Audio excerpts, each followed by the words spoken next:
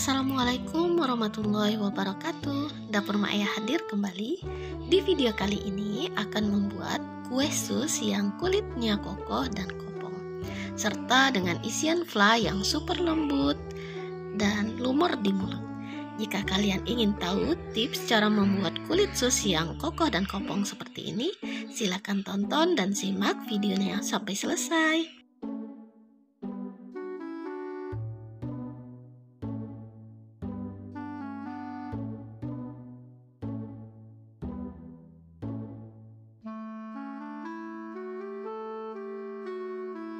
Di sini Mak Ea akan membuat bahan planya terlebih dahulu.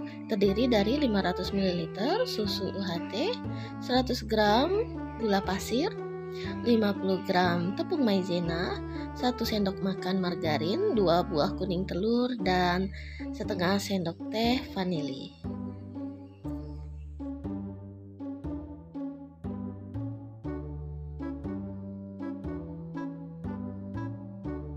Untuk cara membuatnya sangat mudah. Campur semua bahan menjadi satu. Di sini bahan kering dulu, Maya campur jadi satu. Kemudian tambahkan susu cairnya sedikit demi sedikit sambil terus diaduk agar tidak ada yang menggerindil. Kemudian dua kuning telur dikocok lepas sebentar dan dicampur, diaduk sampai rata dan masukkan susu cairnya sampai habis. Kemudian masak dengan menggunakan api kompor yang sedang cenderung kecil.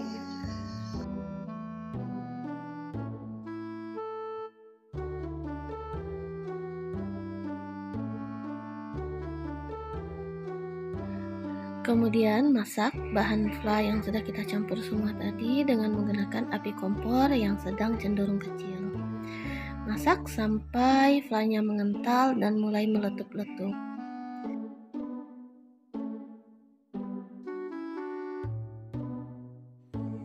Jika flanya sudah meletup-letup seperti ini berarti sudah masak, maka matikan kompor, kemudian masukkan 1 sendok makan margarin. Aduk sampai margarinnya tercampur rata dengan fla yang sudah kita masak tadi.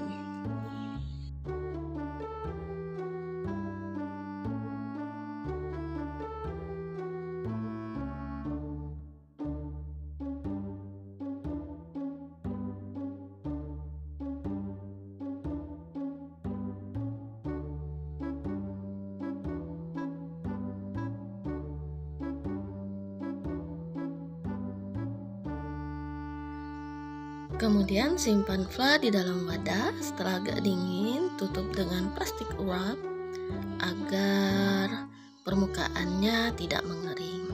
Ini kita sisihkan terlebih dahulu. Lanjut dengan cara membuat kulit susnya. Bahan-bahan untuk kulit susnya di sini Maya menggunakan 250 ml air, 150 gram tepung terigu protein sedang. 100 gram margarin. 1 sendok makan gula pasir. setengah sendok teh garam dan 3 butir telur ayam Cara membuatnya, panaskan air, margarin, gula, dan garam sampai mendidih.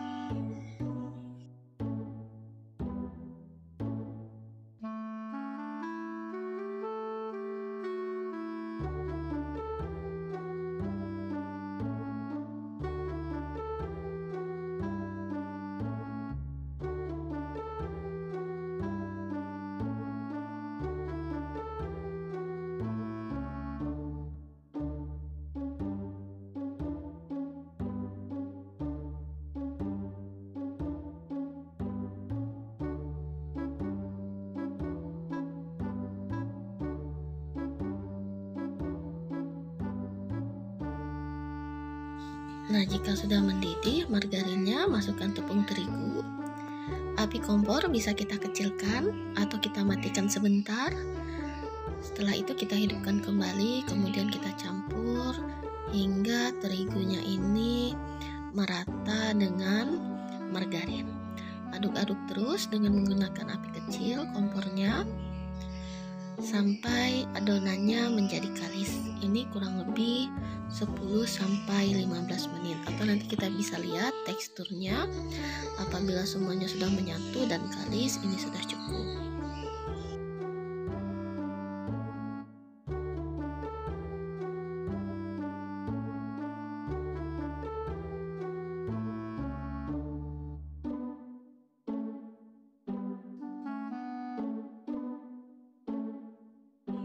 Nah ini adonannya sudah mulai kalis.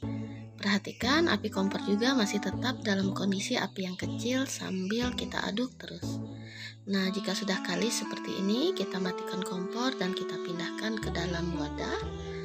Kemudian kita biarkan sampai adonannya menjadi dingin Selanjutnya terlebih dahulu kita siapkan oven supaya panas. Temperaturnya 200 derajat celcius menggunakan api atas bawah. Kurang lebih kita panaskan selama 10 menit. Ya ketika adonannya sudah mulai dingin, sudah dingin Kita kocok dan kita beri 3 butir telur ayam. Kemudian kocok kembali dengan kecepatan yang sedang. Sampai telurnya ini tercampur rata dan adonannya juga menjadi kalis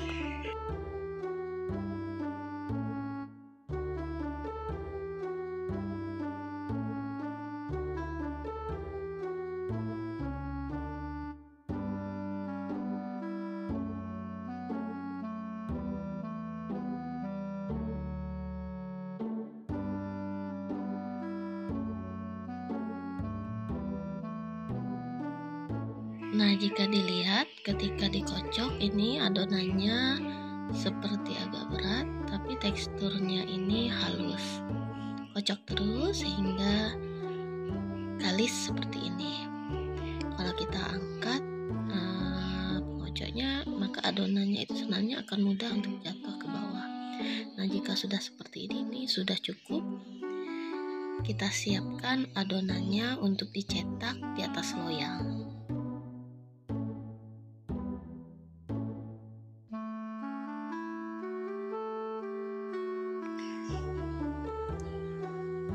Masukkan adonan kulit susnya ke dalam plastik segitiga. Kemudian ini kita gunting ujungnya. Kemudian siapkan lagi satu plastik untuk kita beri splitnya. Nah, seperti ini. Kemudian kita cetak di atas loyang yang sudah diolesi dengan margarin atau bisa juga diberi kertas roti dan diolesi margarin juga.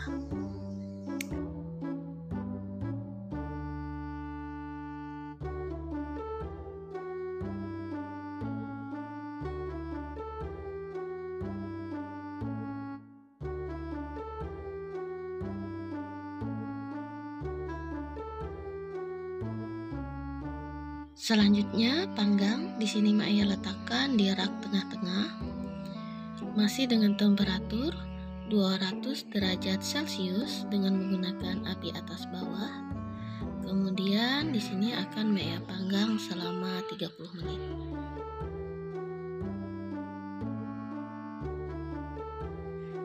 Nah, tips agar kulit dari sus ini Kokoh dan kopong di tengahnya adalah pada proses pemanggangan. Setelah 10 menit, turunkan temperaturnya menjadi 180 derajat. Kemudian, lihat pada kulitnya ini masih menimbulkan atau keluar buihnya, biarkan sampai buihnya ini benar-benar hilang. Nah, jika sudah berwarna kecoklatan dan buihnya hilang, berarti susnya sudah masak. Untuk lamanya pemanggangan ini disesuaikan lagi ya dengan oven yang teman-teman gunakan.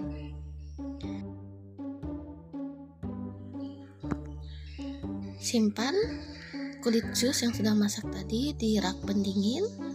Selanjutnya cetak kembali sisa adonan yang masih ada sampai habis dan panggang dengan menggunakan cara yang sama dengan pada saat kita memanggang yang pertama tadi.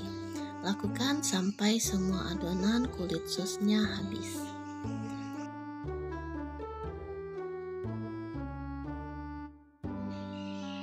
Nah, jika semuanya sudah masak, tinggal kita mengisi kulit sus dengan fla susu. Ini kita iris. Nah, kelihatan ya.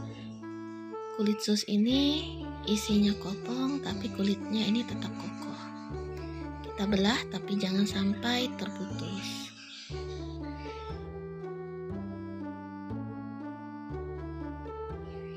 Semprotkan atau isi flanya ke dalam kulit sosnya hingga penuh.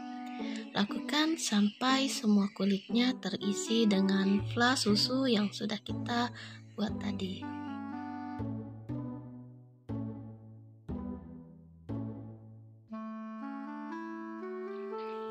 Nah, teman-teman, ini bisa kita lihat kulit sosnya ini kokoh dan isian flanya ini sangat lembut dan lumer di mulut.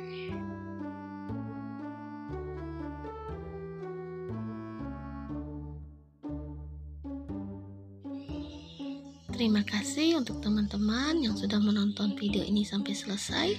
Dukung terus channel YouTube Dapur Maya dengan cara subscribe, like, komen, serta nyalakan loncengnya agar teman-teman tidak ketinggalan video-video terbaru di channel YouTube Dapur Maya.